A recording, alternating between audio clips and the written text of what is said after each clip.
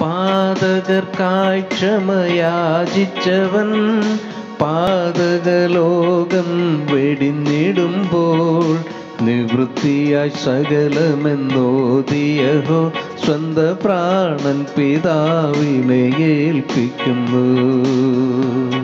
വിശുദ്ധ യോഹന്നാൻ പത്തൊൻപത് മുപ്പത് യേശു പുളിച്ച വീഞ്ഞ് കുടിച്ച ശേഷം നിവൃത്തിയായി എന്ന് പറഞ്ഞ് തലചായ്ച്ച് ആത്മാവിനെ ഏൽപ്പിച്ചു കൊടുത്തു. യേശുനാഥന്റെ കാൽവരിയിലെ അന്ത്യ നിമിഷങ്ങളുടെ വിവരണമാണിത്. നിവൃത്തിയായി എന്ന പദത്തിന് വിശാലമായ അർത്ഥതലങ്ങളുണ്ട്.